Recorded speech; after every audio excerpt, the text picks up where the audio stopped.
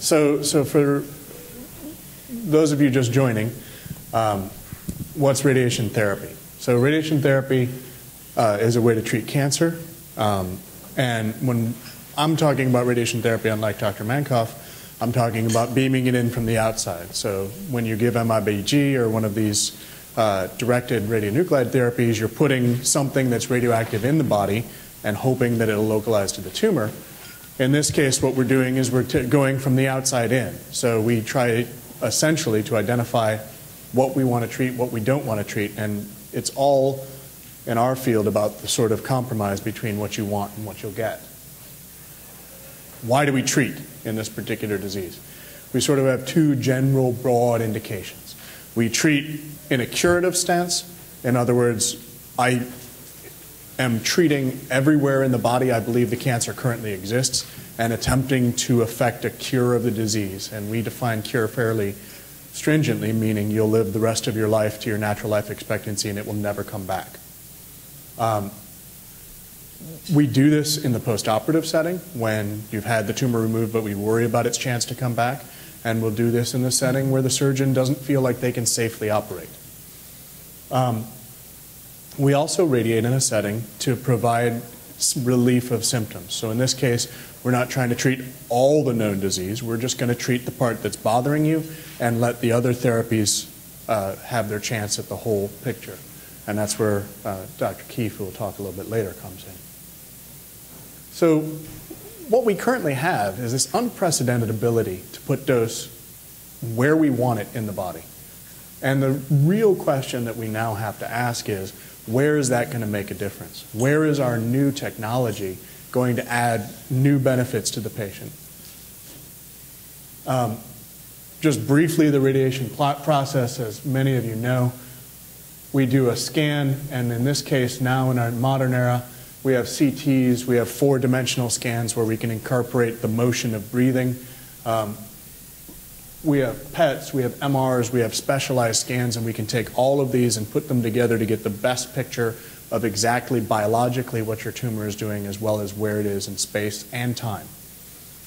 Um, which increases the amount of work on my part where I then go through every single one of those studies and identify what I think is tumor and what I think is normal. And then I call the dosimetrists and physicists the guardians of reality who remind me that there are laws of thermodynamics, not suggestions. Uh, so there are barriers of physical reality that I would love to be able to break that I simply can't. We, in this program, do a lot of other things that aren't done elsewhere. For example, we use a lot of the I-131 uh, MIBG scans or I-123 MIBG scans to localize the tumor a little bit better. So you can see in this case, there's a tumor hiding on that CT. It's a little hard to identify exactly what's what. And we can actually incorporate, incorporate that into our treatment plan. Um, and we frequently do that if a tumor takes up MIBG. So uh, the sort of standard bread and butter radiation therapy, you've got the table, you've got the accelerator, um, and it rotates around you. And to do that, when we use x-rays, we have a very fancy piece of equipment, although um, the wonderful thing about this is uh, there's many, many thousands of these very modern units all over the country and all over the world. Um, so when you're dealing with it, you may be using the technology in a new way, but you're using a fairly standard, well-established technology. Um, the state of the art of the sort of last century, as in, in the 90s and in the early 2000s, is something called intensity modulated radiotherapy. And to, to very briefly, what it allows you to do, instead of taking a normal X-ray beam, which would just create a very flat distribution, in this case, you have a patient, you know, you want to treat the tumor, but around the tumor are things like bowel, bladder, the rectum, uh, the bone marrow, and the pelvis itself. And in this case, you can actually identify all of those on the scans, and you can design a treatment plan that in the red is the highest dose radiation, green and blue are the lower doses, that focuses the radiation only in that one spot. And it does so in three dimensions. You can see how nicely you can get a conformal dose, but you also see on this the, the drawback of X-ray therapy, which is exit dose. No matter how fancy you get, the X-rays will go through, and you can see all this blue in the color wash is because there is exit dose. So there's a limitation physically to what you can achieve by going around. But looking at dose distribution, there's the tumor, that's the radiation. That's pretty good. Um, how do we get better? So we have trouble. This is a moving target, right? So you're breathing. Hopefully, you're mostly staying still, but you're breathing, your heart's beating. There's things in your body moving that we'd like not to stop. So, how do we get around that? Um, and one of the ways that we can do this, if I can get the movie to run. Hmm. We have a mouse? Can you mouse over and hit that, that play button? There you go is, is this so-called image-guided therapy. So this, in real time, gives us the ability, so this is an example of gating it to the respiration of the patient. We actually turn the beam on and off depending on what part of the respiratory cycle you're in. Uh, it can get very sophisticated, and we can do this now fairly standardly. Um, we also have the ability to track tumors uh, optically. We can track them with radiofrequency chips where we actually put these uh, same thing that we use to, to uh, basically GPS chips that we can put into the tumor. We have all of these new things um, that we're dealing with now and sort of trying to find when is which technology the best. Um, a little word about technology. One of the problems in radiation right now is we have a branding issue. Uh, you'll hear these, you know, oh, gamma knife, cyber knife, tomotherapy, and um, like many things with vendors, every, each one of them is, of course, superior, and you must have only that. Uh, uh, the Astro Consensus uh, statement for our, our, professional society, of which I belong and I'm on this committee, uh, came out with a statement that basically said they're all approximately equivalent. They're just different solutions to the same problem. I'll point out we have them all at Penn, um, and we will use whichever one is best, but most of the time you can get there uh, with x-rays either way. So First question you get a lot. Uh, radiation doesn't work for these things, does it? So where's that from? This comes from an era where uh, the cardinal rule of radiation is if you can't see it, you can't treat it. You don't know where it is, you're not going to hit it, right? So, in the old days, when we were using plain films to direct our x-rays, first of all, our technology was inferior. Second of all, we couldn't see the tumor. So where did we do well? We did well in lymphatics because we had lymphangiogram. We did well on bones because we had bony x-rays.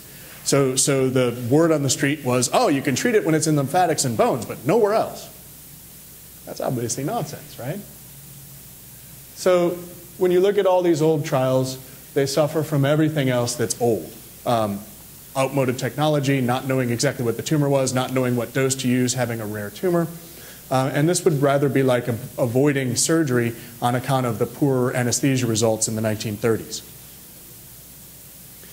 So what ended up happening in the 90s and into the 2000s is we have these uh, paragangliomas of the carotid body in the head and neck area.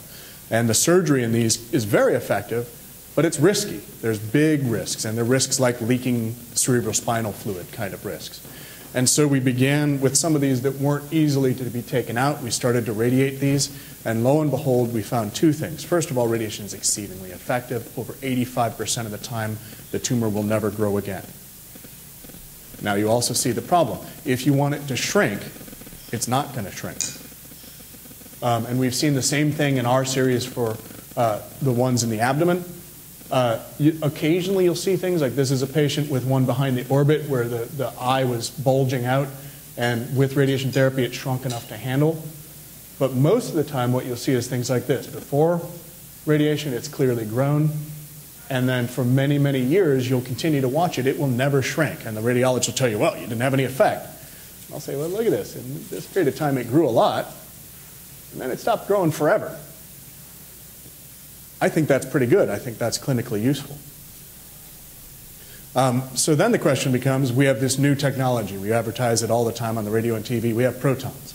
Uh, but actually everyone has protons. You all have protons in you. Just we can accelerate them to a very fast speed, about 0.7 times the speed of light.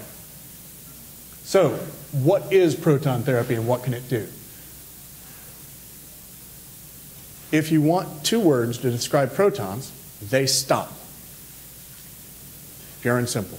You saw the problem with the exit dose from the x-rays. Protons don't have exit dose. They stop.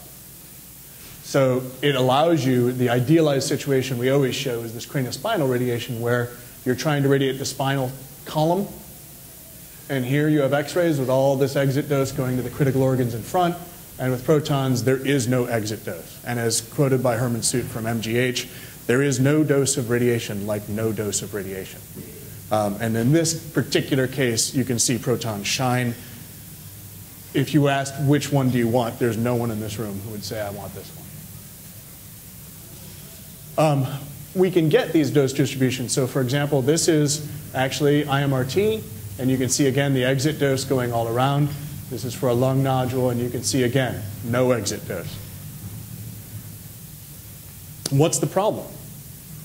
First of all, they're not easy to deliver. You can see this is the cyclotron. If you remember when it got brought in, they had to decide structurally whether the South Street Bridge could handle the weight of this thing, and they brought it in in two halves on two giant flatbed trucks, like moving the space shuttle. Uh, you can see this is a long down the back wall. In our beamline, it's about a football field worth of, of electronics and magnets. The patient rooms that we treat on are these 30 meter gantries, um, uh, almost big enough to have their own gravitational field. And you can see here what the gantry looks like with people standing in front of it. So this is not a simple, straightforward, easy engineering feat to get these things to, to work to treat. Um, one of the other issues is anytime there's motion involved, we have issues. So if you want to know where they stop, you better know exactly what's in their way and exactly what it's going to do. Otherwise, and that to the extent that you don't know that, you'll degrade the ability to use the protons. Nevertheless, again, uh, you can see here, this is a tumor in the front of the mediastinum. You can see again the red dose, and you can see what the IMRT would have done. But there's another subtle thing here. Look at these little streaks through the lung. It's because the lung isn't a great backstop because it's a low density tissue. So you start running into these issues um, where we sort of have to come up with interesting or new uh, engineering and physical solutions. Um, and one of these is this uh, scanning beam that we have up and running now, and we'll have it on a gantry coming in January. Uh, with this, in, we'll actually hand place individual proton beamlets one by one into the tumor, and we'll have unprecedented precision with which to achieve. So you can see here, you're actually building that radiation field out of many little beamlets. And with this, you can see uh, what X-rays would do in terms of uh, dose distribution. And you can see here, you're able to really conform this and, and minimally have exit dose issues. Uh, but you can see down here, um, trying to treat the rind, you still have issues. So it, it, it solves a lot of problems, but it's not perfect. So what is our role? First of all, it's multidisciplinary care, and that's one of the things we have. We all come to the table, we all bring what we have to offer, and we try to figure out how to map it to what the patient actually needs. I think there's a limit to what technology has to offer. Um, it will not solve the laws of physics. It will not create things. Um, and so it's really these combinations of radiation therapy, using this technology to put dose where we couldn't put it before safely, and then asking how does that help out all the other modalities? How does that help out the patient to achieve their goal of additional lifespan but with a good quality of life? And where are those? And the final sort of question we're dealing with is we're now beginning to understand the molecular nature of these diseases. We understand the things that make them a cancer or why they're bad or why they're good.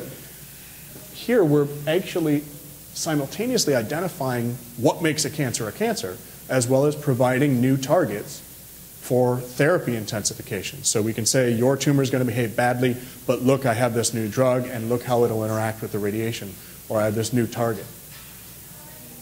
So really, very quickly is the last thing, what's on the horizon? Um, one of the other interesting things we're dealing with now is it turns out the immune system is probably responsible for most of our complications from acute inflammation from the radiation.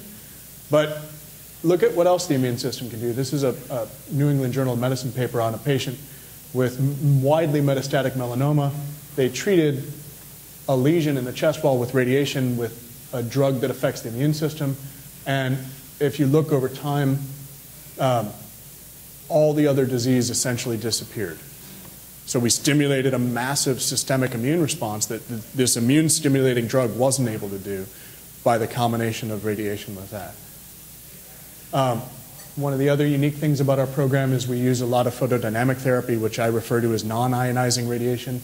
In this case, you're using light with a sensitizer, and we have pretty good evidence this is from mesothelioma. Uh, here's a patient with uh, a lesion that was treated, and you can see lesions that were, or a lesion that wasn't treated by this having a very strong immune response to immune therapy because we believe because of this PDT. Um, and this is a, a example of, of, what you can do with a neuroendocrine type tumor by actually implanting a light source directly into the tumor. So these are things on the horizon. Um, and what sort of the big picture here is the immune system causes many of our complications in this field. Uh, it also can cause some of our greatest successes. And one of our challenges is to integrate uh, our current modes of therapy into the natural processes of the body. The body doesn't want this tumor. We just need to convince it of that and work sort of with the natural processes and against the tumor's biology to try to tilt this thing more and more in the patient's favor, more in favor of treating the tumor and, and more in favor of reducing the toxicity. And with that, I will stop for questions.